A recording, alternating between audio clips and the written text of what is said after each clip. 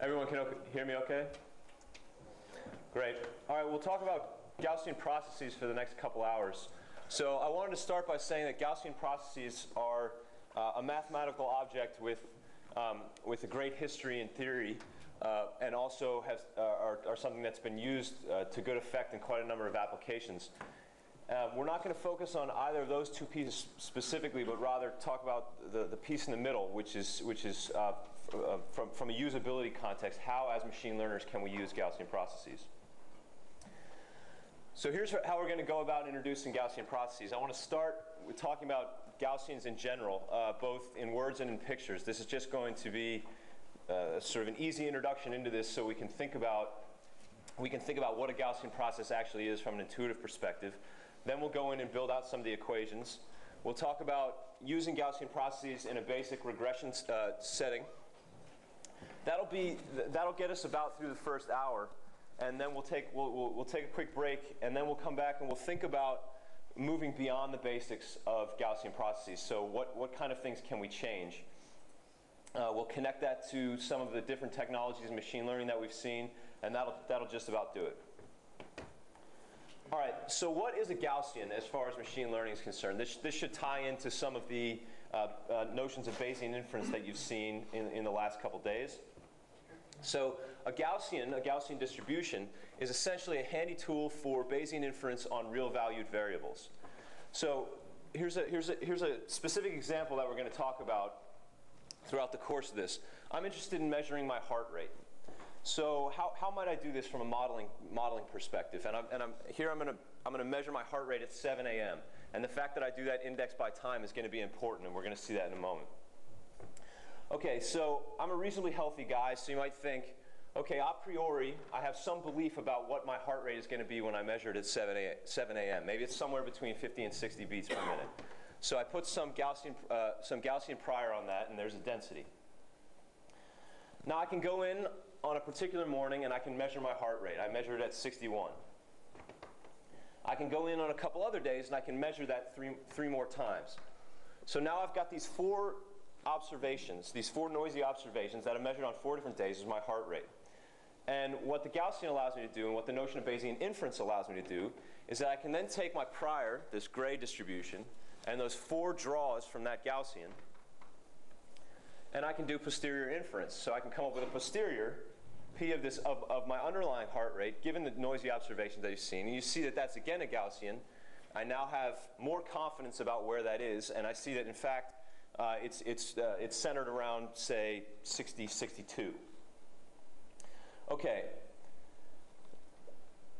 So let's take that univariate Gaussian case and move that up to multivariate Gaussian. So we talked about measuring my heart rate at 7 a.m. I could also want to measure my heart rate at 8 a.m. And let's think about how, uh, how those observations of not just a single real valued variable, but rather a pair of numbers at 7 and 8 a.m., how that would change. So to do that, we can't use the same univariate Gaussian. We want to move up to a multivariate Gaussian. This should be an object that we're all familiar with. Now, the multivariate Gaussian we're going to conventionally look at as these, um, on a flat surface, these ellipsoids of, of uh, isoprobability. And so what is this distribution telling us? This distribution is telling us now we've got some prior belief, not on, on a single heart rate measurement, but on a pair of heart rate measurements. It shows that there's some positive correlation, which is to say if I measure, if, if, if I've got a higher heart rate at 7 a.m., I imagine it'll be higher at, at 8 a.m. And so then we can do the same thing. So here's our prior. I can go in and take four measurements on four different days. Now remember, these measurements now are a pair of numbers, 7 a.m. and 8 a.m. So I can get that data. I can use Bayes' rule in the same way, and I can come up with some posterior inference.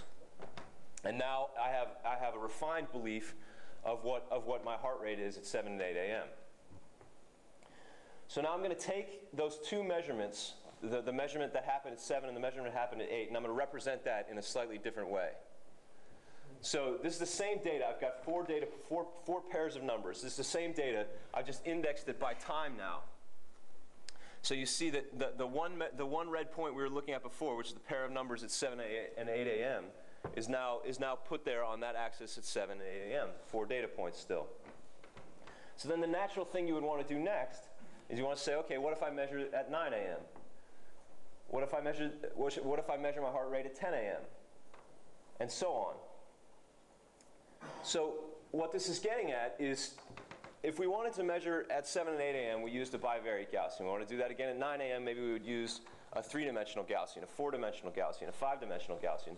When really what we're getting at, what we care about, or, or what we might be interested in, is inferring that entire function over time. And that, that's how we get to a Gaussian process intuitively. So rather than having some finite set of Gaussians that we have to measure strictly from, we have, if you will, uh, an infinite set of Gaussians, and that's, that's what a function is. So here's how we're going to represent that throughout, uh, throughout the course of this. So each of, these, each of these function curves in color is going to be a single draw from a Gaussian process. That's a function. The way we're going to represent the way we're going to represent the prior distribution is with this, this mean, which is this gray line here, and this envelope that sits around it, which is two standard deviations around it. So what this is saying is that we imagine that our average draw is going to be something like that, and we have some, some distribution that wiggles around that inside that envelope. What this allows us to do, and this is, this, is, this is really one of the key features of a Gaussian process, is that remember before we were talking about measuring rigidly at those hourly times. But now if we've got this nice infinite dimensional object, we can measure really at any time we want. And we'll get into all the mathematical reasons uh, for, for why we're able to do this. So I can measure at this particular time. And you can see what's happened is that I've measured a data point at about 1030. And what that's done is that's taken my prior in the same way that we did in, in, uh, in that fixed dimensional case. That's taken my prior and it's said it's refined it into a posterior. And it says, actually, I believe that my function is not quite flat anymore, but rather is closer to that data point. And you can see that around the data point that I've measured, I now have, I now have increased confidence. We can then take another measurement, more measurements still, and you see what's happening as we go through this process. As we get more and more data, we're scribing out this regression function, this nice smooth underlying function, and we're getting more and more confident about the envelope around it. Okay, so that, that intuitive summary i- is, is, is as follows. When we were taking, when we were taking measurements, uh, single measurements at 7 a.m., we were getting real valued variables. So was, the univariate Gaussian was a nice distribution over real valued variables. When we moved that to pairs or triplets or what have you, that, the multivariate Gaussian allowed us to do that. And now, when we want infinite numbers of real valued variables, in other words, functions of real valued variables, that's what a Gaussian process allows us to do. So, so if you take nothing else away from, from this lecture, take, take that away, that this is something that allows us, the, Gaussian process is effectively something that allows us to have a Gaussian distribution over infinite numbers of variables. And what that drives us to is this notion of regression. So let's look at regression real quick and talk about a few reminders of what regression does for us. So I'll put this up again. So here we've got all these blue data points that we've, that we've observed, and we believe that there's some smooth underlying function that is really what the description of, of, of, of what the data is doing. So one of, the, one of the things that regression is quite good for is just that, which is denoising and smoothing.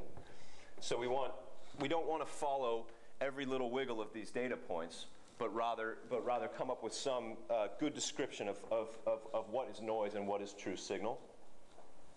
We also want to do prediction and forecasting. So I've collected all this data.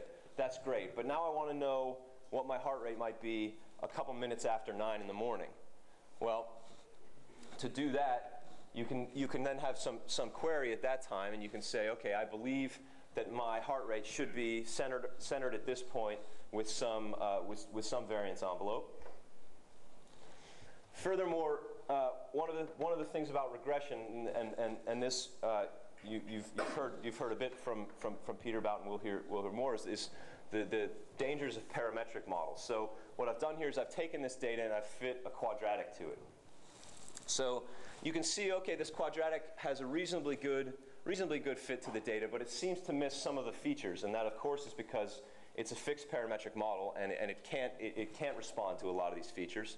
Uh, furthermore, parametric models get us into some dangerous places. Like because of this, because of the way this data was fit, there seems to be some magical point around 11 a.m. where my heart rate peaks for the day, and, and then it sort of falls off after that. And furthermore, if you, if, you really take this too seriously and you, and you extrapolate from this, this has my heart stopping around, around dinner time. So, so there's, there's, a, there's, there's some dangers to parametric models. Um, furthermore, overfitting, underfitting is always going to be a concern with regression, and we'll talk about how Gaussian process deal ni nicely with that. So he, you can see here, we've got this model that is, uh, that is overfit. In other words, it's chasing all the little wiggles, all the little noise in the data. Conversely, you can have a data that's, uh, you can have a model that's underfit, and so you see here, uh, we're, still, we're still fitting the data, so to speak, but we seem to have missed a lot of the interesting structure. All right. So that is, uh, that's, that's basically what I, what I wanted to go through in, in, in this first section of Gaussians in words and pictures. So now we're going to now we're going to fill that intuition in with some equations. I should say, please interrupt me throughout the course of this if you have questions about this. I suppose everyone's been doing that. Okay, the multivariate Gaussian. This, this, this, this should be a review, I hope. Uh, we say that f, which is a, uh, an n vector, is normally distributed if it has the following distribution. And that falling distribution is parameterized by some mean vector m, which is, which is an arbitrary n vector, and some covariance matrix k. And the only constraint on that covariance matrix is that it's positive semi-definite. The shorthand that we'll use throughout this is we say that f is distributed normal with mean m and covariance k. So as we said before, the loose definition of what a Gaussian process is is a multivariate Gaussian of an uncountably infinite length. In other words, take that multivariate Gaussian vector and just make it longer and longer and longer. And what does that get to? That gets to a function. That, that, that's a very loose definition indeed. Here's a slightly more rigorous definition. We say that f is a Gaussian process if for any subset index, any set of indexes t, if f of t, which is, which is, which is the function f evaluated at, the, at those index points, has a multivariate distribution according to normal m of t and k of t. All right? So I'll say that I'm using t here uh, as real numbers for familiarity with regression in time, but the domain can be, uh, can be any dimension, uh, any dimension x in, in RD, and we'll, we'll show an example of that later. All right, so I kind of breezed by this, this fact uh, in, in this definition. What are those functions m and what are those functions k? So let's talk about that now, because that's, that's an interesting part of what, what, what makes a Gaussian process. So the mean function, by analogy to that mean vector in the multivariate Gaussian case, where we said the mean vector can be just about anything, the mean function can be, uh, can be any function that maps index points t onto real values. Um, often in, Gaussian, in the Gaussian process literature, uh, because you can mean subtract your data, uh, and, and because it makes notation easier, we'll just, we'll just um, set, set the mean function to zero. Because really, in the modeling context, what, what, what often makes things most interesting is modeling that kernel or covariance function. So that that covariance function is, is, is, is again a function that maps your input space onto a real value, except it takes a pair of arguments. So it's any valid Mercer kernel. So this connects to all the stuff that you've talked about uh, in, in kernels already. And what this is, is just any function, any function that has two arguments, and that function has to be a positive semi-definite, uh, a positive semi-definite function. In other words, it needs to, it needs to obey Mercer's theorem. Now, Mercer's theorem, again, uh, is a very rich mathematical uh, uh, theorem from functional analysis.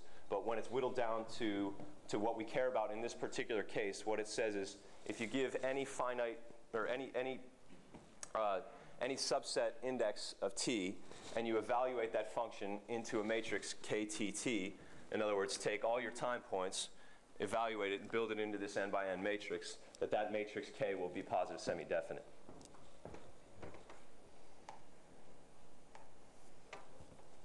So to summarize that, the GP is fully defined by a mean function and a kernel function, and this requirement that every finite subset of the domain has this multivariate normal distribution, uh, this consistent multivariate normal distribution, f according to m evaluate, uh, the mean function evaluated at those points t, and the kernel function evaluated at those points t.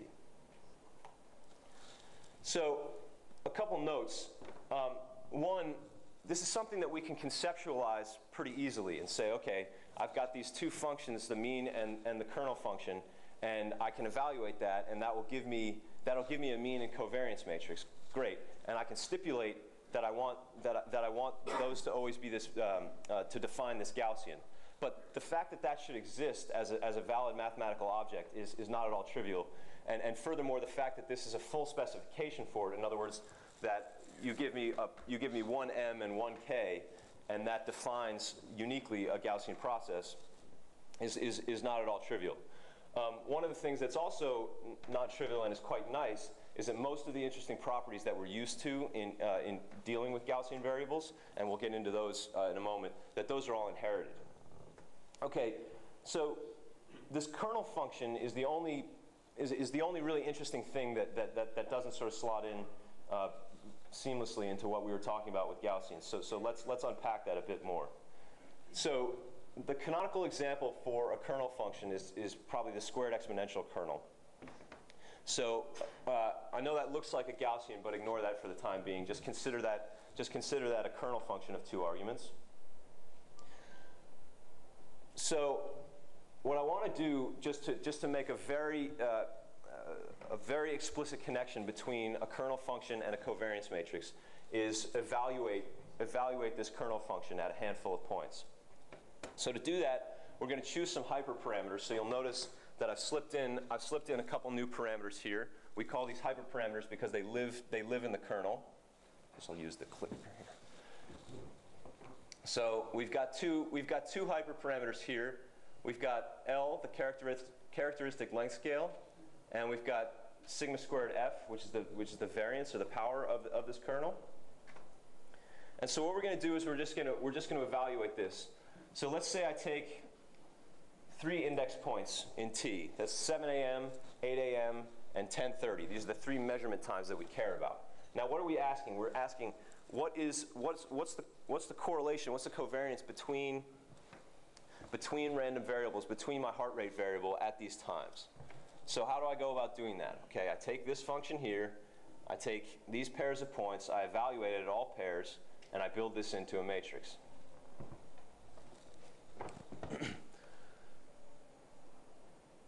So what we can then do is we can then change these kernel hyperparameters and see how this covariance matrix changes. So what I've done here, I'll just flash back between that. We had a length scale of 100. Now we're going to go to a length scale of 500. And what we see is that the diagonal, we've still got the same values. But what's happening is as we move away from the diagonal, the correlation is falling off much less quickly. So what's this saying? With a higher length scale value, between 7 and 8 a.m., these variables are highly, highly correlated. As you get further away to 1030, this variable is not quite as correlated, but still, it's still quite highly correlated. On the other hand, if we make this a smaller number, you see that the correlation drops off very quickly. So this is nearly a scaled identity matrix. In other words, in other words, um, my heart rate at 7 a.m. is nearly independent from my heart rate at 8 a.m. Uh, we can also change sigma f and see how that changes things. So this, um, remember we were putting up that, that, that envelope around, around the Gaussian mean, around the GP mean, that gray envelope. So what we're doing here is changing that. So we double that, the envelope doubles. Okay? So that was just to tie in uh, something, something where a lot of people, when they're learning Gaussian processes, get tripped up is connecting the kernel function to, to covariance matrices. So, so I'm going to I'm going to repeat that a couple times, but I think, uh, but, I think it's, it's valuable to make that connection. All right, so an intuitive summary of GP so far. Uh, GP offer distributions over, over functions. And for any finite subset vector, uh, we've, we've got this normal distribution. And you see here, as promised, I've dropped, I've dropped the mean function. And the covariance, the covariance matrix K is calculated by just plugging the t, the index points, into this kernel function. So to introduce some new notation, before we were saying f is normally distributed uh, with, with mean 0 and covariance k. Uh, you'll often see written f is distributed as a GP uh, with mean function m and covariance function k. All right, so I mentioned that I mentioned that most of the important Gaussian properties uh, that we care about are inherited by, uh, by Gaussian processes. And so what I want to do is walk through a couple of properties of the Gaussian that are, that are going to be interesting for today's purposes, that are very useful to, in the GP context. So one is, uh, is additivity. In other words, adding two Gaussians together gives you a Gaussian again. That'll, that'll be nice to us in forming a joint. Uh, conditioning. So conditioning on Gaussian random variables, uh, this, this, is, this is important for inference. Uh, the ability to calculate expectations, which is going to be interesting for uh, calculating posterior and predictive moments. And finally, our ability to marginalize out variables that we don't care about. So there, there, are many other, there are many other nice properties of the Gaussian, of course, but, but those are the ones that we, want to, that we really want to care about today. So let's first talk about uh, forming a, joint, a jointly Gaussian distribution. So uh, I've got some prior. I've got some prior on F. So F I'm going to use throughout as, as, as, as, our, as our prior. Um, I've got some Gaussian prior with MF and covariance KFF. I've got some IID noise that I add to that, N. And then I want to let y equal f plus n. So what's this saying? This is saying the underlying function that I care about the underlying uh, regressor that I care about is f, and I measure some noisy data observations of that y, which is y plus this independent noise n. So what's nice about this is that this allows us then to form a joint distribution p of y and f, and you see that this is again a Gaussian. So a couple objects that we haven't seen before, so KFF we gave to you, MFF we gave to you, and so you say, okay, what's what's KFY and what's KYY. Okay, you can just evaluate that out. KFY is this expectation, and in this case, that equals KFF. KYY, in this case, equals KFF plus the noise. So the nice thing, the, the, the, nice feature now that we have to connect this back to the regression problem is that the latent F, which we care about, and the noisy observation Y are jointly Gaussian. Okay, but wait a second. We just did this all with regular multivariate Gaussians, so where did, where did, where did the GP go? Because we've, we've just been talking about GP. So the point I want to make here is that if f and y are indexed by some, some input points t, in other words, if, if mf is actually just some mean function evaluated at these, at these n points t, these n index points, and kff is, is, is, is some kernel evaluation, then I could have just as easily written this as a GP prior F and, some and an additive noise GP N and use this same additivity property. But here, when I wrote this, this, this specific Gaussian, I would have just indexed this Y at T and indexed this F at T. So this is, this is you're starting to see one of the really nice features of, of, of the GP is that is that all we need to do is bring in a finite set of, of index points, and then we're working with multivariate Gaussians. So, so as, as a warning, because of this, is that there is some overloaded notation here.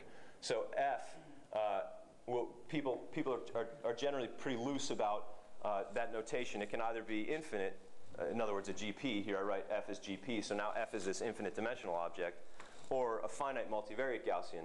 Uh, and that, that, that, that, that can, that's generally put pretty clear depending on the context. All right, the next property that we care about is uh, conditioning or doing, uh, doing Bayesian inference.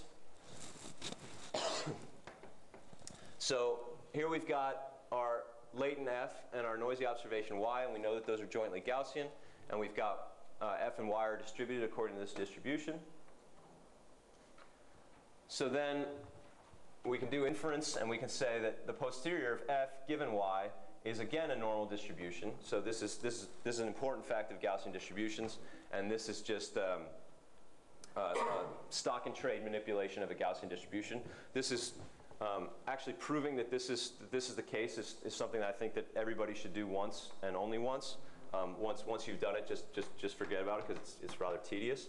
Um, but, but it's a cool fact to know. So a couple things to point out here. You see that we've got this mean function, uh, sorry, this, uh, this mean and this covariance. We can unpack this a little bit. We should all be pretty familiar with this. One interesting thing here is that you see that this is just a linear function of our observations y. So that's, that's nice to know. And further, uh, this term here, KFF is our prior is our prior covariance. So that's the uncertainty that we had about that latent. And you see that we've subtracted here this other term, and that's essentially how much our data explains about what we know about, about our prior. So if our data tells us nothing about our prior uncertainty, then this will be a very small term. And, and in other words, our uncertainty is still just around KFF. If instead our data tells us a whole bunch, then this, get, this approaches KFF and our uncertainty decreases considerably. So the main point of this, and, and you, can, you can not worry about parsing this too much, but rather inference of the latent given the data is simple linear algebra. So we've reduced all of, all of the complexity of Bayesian inference and all of, all, of, all of the problems that are sometimes associated, that, associated with that to a, simple, to a simple set of linear equations. All right, the next feature, so we talked about forming a joint, we've talked about uh, doing inference. So now we can talk about uh, um, calculating expectations. So again, this, this simple term, uh, this simple conditioning term gave us this fact. And what this allows us to see is that, I mean, this is, this is repetitive, I suppose, but the expectation, the expectation of f given y is simply this mean term. And so that's, what is that? That's the map estimate, that's the posterior mean. Um, there are a number of other moments that we'd be interested in. One, one other thing I wanted to bring up, so we looked at the posterior moments. F and Y, we've been talking about this, this joint Gaussianity between the latent F and, and, and the noisy observation Y. Uh, instead, we can look at we can look at Y, which is data that we've collected, and Y star, which is data that we haven't collected. In other words, uh, uh, when, when I said I want to query on and, and see what my heart rate's going to be at nine, a couple minutes after 9 a.m., uh, this is convention in, in, in, the literature that Y, y star is, is, is, a, is data that you want to predict. So those are also jointly Gaussian. And so that's no different. We just use the same, we just use the same conditioning property to get to, to get to this fact. And you can see that this is our predictive, predictive mean.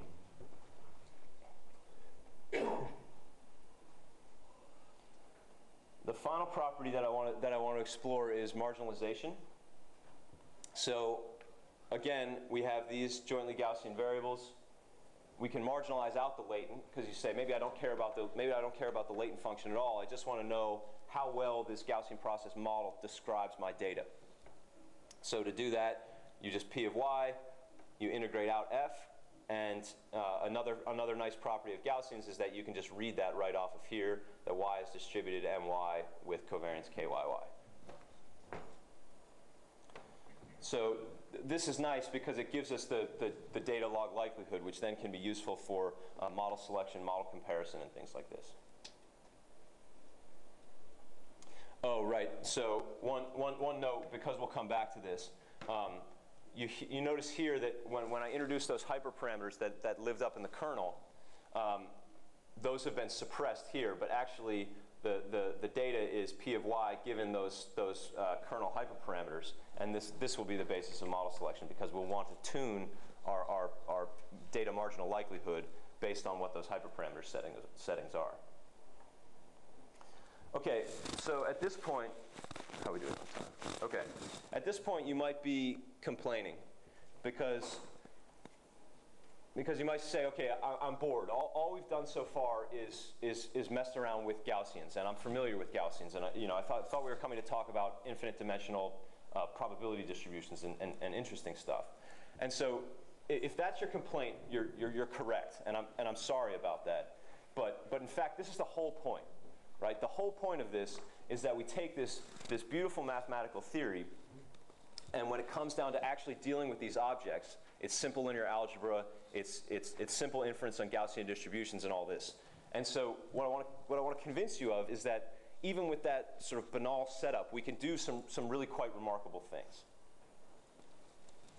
Okay, so now let's look at some of the remarkable things, I suppose, that, that, that, that GP can do. We've talked about Gaussians in words and pictures. We've talked about some of the equations. So let's talk about using, using GPs in a regression context. So our example model, which we've introduced throughout the course of the equations section, and now we'll, now we'll see what it can do.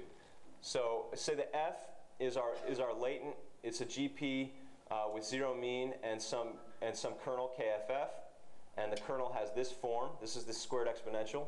When we get to talking about, talking about kernels, we'll, we'll, we'll mess with that. Uh, but for now, just, just, just let that be. We say that y given f, this is our noise term, right? In other words, if I give you, if I give you the latent function value f, the data that I observe is, is distributed some, with some independent noise on top of that. That's got some kernel. Uh, that's, that's, this, is the, this is the white noise kernel, and all this is saying is that two different, um, is that two different, the noise that I observe, the measurement noise that I observe on two different time points is independent. What this allows us to do, again, because of this additivity property, is we can, we can add this and see again that y is distributed as a GP with some kernel KYY, and you see that these kernel functions add. So, all right, so now we've got the probabilistic model, the distribution fully specified. So let's just fill that in with some of these hyperparameters. So I'm going to choose sigma f equals 10. So that's the standard deviation envelope. Uh, I'm going to choose a characteristic length scale of 50 and uh, a, noise, a noise power of 1. So, all right, so let's, let's, let's look at again of our, our visual representation of that. So this is the prior on f. What this is saying to connect this to the equations is that we've got a mean function of 0. So that mean continues along 0 all the, at all times. And we've got uh, sigma squared, sigma f of 10. And so this is the 2 standard deviation envelope. So now we can go ahead and we can take draws from this Gaussian process.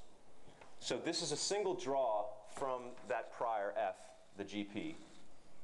And so now you see, hopefully connected to this notion of, of how we can draw a function from, uh, uh, from a GP. So the steps of this should be clear. This is the only, this is the only code snippet I will give you throughout the course of it, but it's, but it's, but it's, only, it's only one line, and, and, and Delon will, will unpack that more. Um, Okay, so how do I get, how do I actually get this draw? So to do that, I take a whole bunch of index points, a finite number. So here I took the, the integer index points between 0 and 500. I evaluate that kernel function just like we did with those three index points. I evaluate the kernel function and build that into some, in, into some uh, 500 by 500 matrix, KFF. And then I can take a draw from a Gaussian with zero mean and this covariance. So how that's actually done, right, and this, this would be your, your MATLAB code, um, how that's actually done is, is according to this. So that will give you, this, this procedure will give you this nice, will give you this nice draw. Okay, so there was one draw in green. Now we've taken four draws of that, and, and I, am belaboring this point just so that just so that we remind ourselves that a draw from a Gaussian process gives you a function. So four draws from that will give you these nice four functions. Um, before, when we were evaluating the kernel matrix, we we messed around with the hyperparameters a little bit to see how that changed. Uh, see how that changed the covariance matrix. Let's do that here in pictures. So here is sigma f of 10 and the length scale of 50. If I change, I'm going to leave that length scale at 50, but now I've changed the power of that, the envelope of that, from 10 down to 4. And you see what's happened is that the, the, the, um, the envelope has shrunk and the draws have shrunk. Not surprising. If I change, if I change the length scale of 50 to a length scale of 10, right, so what this is saying is as two points get further apart, they fall off the, the, their, correlation falls off more quickly. So accordingly, you get more wiggly draws. Uh, one final point on this is this, this should feel a whole lot like when we were evaluating those, uh, those covariance matrices. In other words, this is a, is, a, uh, is, a, is, a, is a closer to the identity matrix, the covariance matrix is closer to the identity matrix than, for example, this, which has much longer range correlations. Okay, so I mentioned that uh, we've been looking at regression in time and taking draws uh, that are nice temporal functions. Those are easy to look at and, and familiar to us. Uh, you can also have multidimensional input. So um, one of the one of the, the, the, histories of the application areas where Gaussian processes have been used a lot is in geostatistics, and they're, um, they're often interested in, in, in, in spatial Gaussian processes. So for example, latitude and longitude. Instead of regression in time, you want to regress on latitude and longitude. So to do that, we can make, uh, we can make each input, uh, instead, of, instead of a single real, uh, real valued number, a pair of numbers. Um, so now we've got some Gaussian process here. F is the same GP, and the kernel is almost exactly the same, except here there's just an extra term. Uh, there's, there's, there's, a, there's a squared term for each dimension of that Gaussian process. So what might a draw from that look like instead of one single function? Uh, what you get now is a field over, over uh, latitude and longitude. So this is your random function that's drawn over that field. So um, I suppose shameless plug. If you are staying for AISTATS and you want to see a, a multi-dimensional GP in action, um, um, we've, got a, we've got a paper on that, and, and I'm, I'm, sure there will be other papers uh, with GPs as well.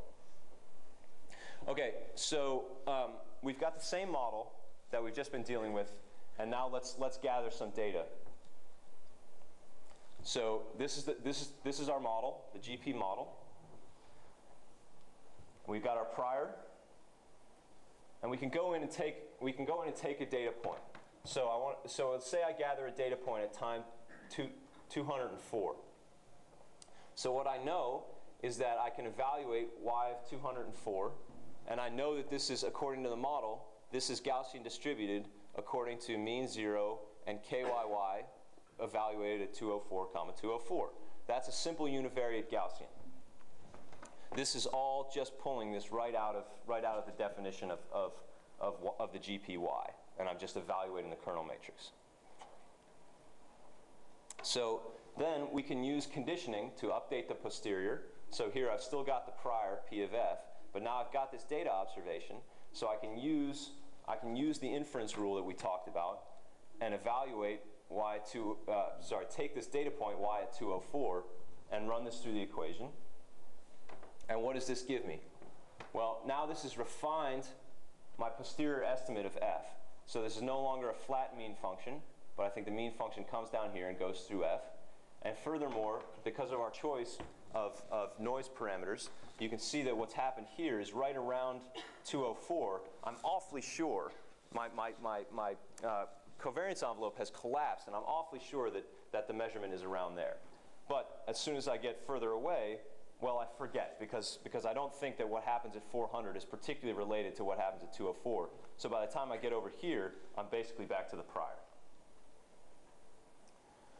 So a small change is that here we were looking at the posterior. This, this I think is important, is important to hang on just for a second because often when you look at um, GP work, it's not clear whether people are talking about whether, whether they're showing the, the posterior or, the, or they're showing a predictive model.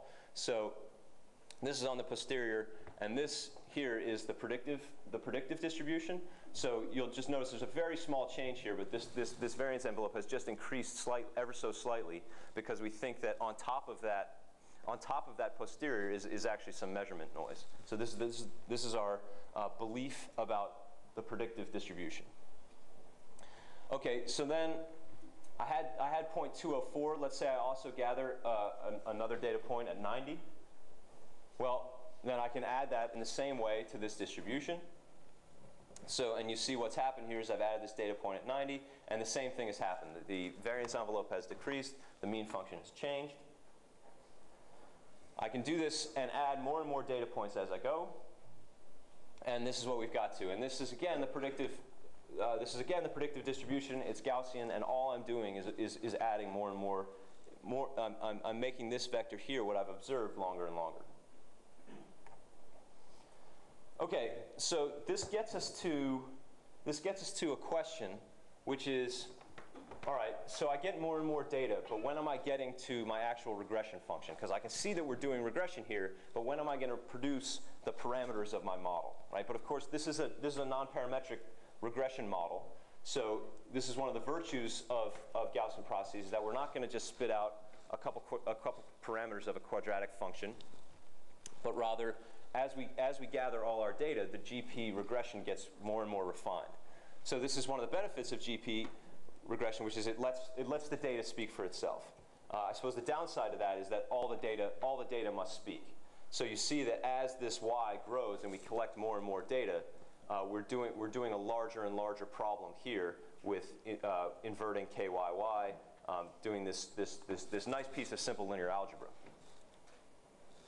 So you'll often hear, you'll often hear this, this comment, which is nonparametric models have an infinite number of, of, of parameters. And I'd like to refine this slightly in, in, in, our minds, the way we think about this, and not say that nonparametric models have an infinite number of parameters, but rather nonparametric models have a finite but unbounded number of parameters, and that, and that number of parameters grows with the data. So uh, the way you can think about it here is that um, as, as this gets larger and larger and tends towards infinite, yes, we have, we have an unbounded number of, of, of parameters that can describe what our prediction is going to be, but that's still just growing finitely with, with the amount of data that we get. Okay. So we are almost, we're almost through the basics. Um, there's one more piece of, of, of the basics in Gaussian processes and using Gaussian processes for regression that I want to talk about. And that is model selection or hyperparameter learning. So all throughout the course of this, uh, we've been adding these data points, looking at the predictive distribution, looking at posterior inference. Um, and we've been doing this with a fixed, uh, with a fixed model, uh, f, this Gaussian process with KFF, according to this function. So I want to talk about these hyperparameters now, L and sigma squared f. So here we've got L e equals 50, and we've seen how changing that uh, can change the fit that we get. So if I make L quite a bit smaller, you can see that now L is, uh, uh, sorry, that, that this GP is overfitting the data. In other words, it's chasing, it's chasing each individual wiggle of these, of these data points. It's recurring, uh, it, it's forgetting very quickly, probably too quickly, such that really it says here that we know effectively nothing about, about, uh, about, our, about our inference on this data point, when in fact, given this is probably a better description. We believe that the function should be around here. Uh, again, if we have a length scale that's too high, then we're underfitting the data. So here we've got some very confident prediction, but it's probably missing some of the interesting structure that exists in this data. So the question that we want to talk about right now and what, what we want to address is how can we how can we tune or integrate over these hyperparameters L and sigma squared f? So that we get, so that we take our data and we get to this model, which is just right. So there's two popular ways to do that. Um, the first of which is to use the marginal likelihood. So we talked about the marginalization properties of the Gaussian, which is to say that we can marginalize out, we can marginalize out the latent function f, and we can just look at the marginal likelihood of the data y. Um, and again, I said that this is actually hiding these extra parameters, which are now the parameters that we care about, these hyperparameters. We want to do model selection on these hyperparameters. So just looking at this, and particularly when you talk to people that are outside of Bayesian machine learning, um, it's, it, it's, it's quite common that people say it's not obvious why this, this, this, should, this should do model selection uh, automatically and that this shouldn't overfit or underfit the data but it's, it's, it's right in the math. So let's, let's unpack that for a moment. So here is the uh, log marginal likelihood of the data.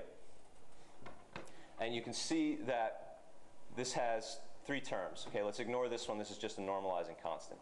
So what do these two, what do these two terms do? This term typically is called a data fit term, and this term is often called a complexity penalty. So what you can see here is that if we just consider sigma f, right, so that's the envelope, that's the envelope of the Gaussian process. So as sigma f gets larger, this will fit the data better. In other words, more data gets, more data gets inside that, uh, th that envelope. But as that happens, as sigma f gets larger, this term also scales up. So you pay a penalty here. So these two terms, these two terms, your complexity and your data fit, are at odds with one another. And that gives you this, uh, this, this, this automatic determination of overfitting versus underfitting, which happens in a Bayesian model. Uh, unpacking this for the length scale uh, is, is, is just a little bit trickier, but again, it's simple linear algebra and comes to the volume of this, uh, uh, uh, the volume of this ellipsoid, which gets larger. Uh, this gets larger as you get closer to, to white. In other words, as you get a shorter, shorter length scale. Um, and, and that opposes in the data fit term as well. So that, that's, um, that's worth spending some time unpacking on your own.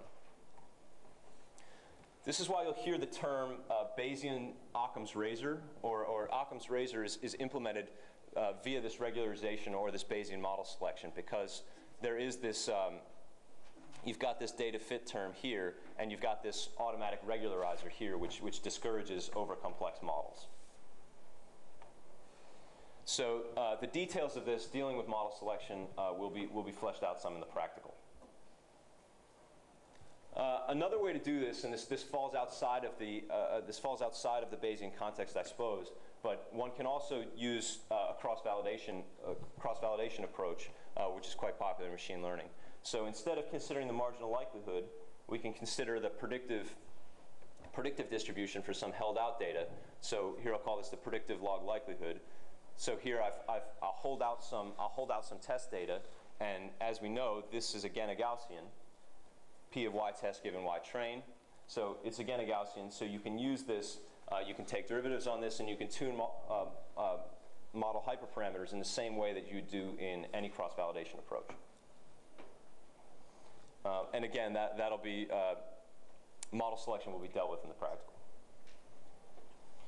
All right, so that gets through the basics of what I want to talk about with uh, GPs and words and pictures, GPs and equations, and then using GPs in a basic regression context. Um, we're just, just a few minutes ahead of time, so uh, why don't we take a few questions? Nice, Koa. Uh, so when would you want to use each of those two methods to fit into I mean, it, it seems to me, wouldn't it always be better to do the first one, like to figure out the part? Uh, so I suppose, I suppose choosing, choosing uh, Bayesian model selection versus cross-validation is something that uh, uh, people can do for, for a lot of reasons, some of which is, is, is just the, just their, their, their opinion on, on this divide between, between, between Bayesian and, and frequentist statistics. I think one reason why a lot of times people use cross-validation measures is for out-of-model data. So one thing that this, um, one thing that this marginal likelihood uh, measure is very much within, very much within the model that you've chosen. Whereas cross-validation, you, you're, you're saying, let me, let me ignore the model, so to speak, and I'm really just interested in, uh, in the predictive ability of that on, on, on, on held out data. Um, so that's, that's, that's one distinction. Uh, that, that's, that's one distinction, I think.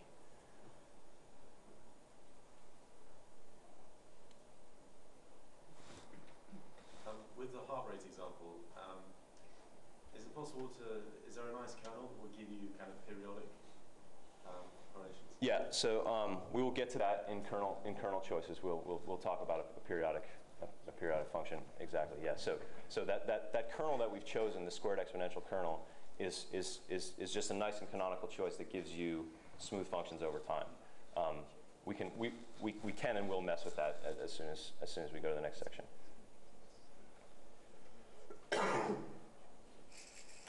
Uh, if there are no other questions, why don't we take why don't we take a five minute five minute breather and then we'll we'll we'll come back and we'll we'll get into some some more interesting details.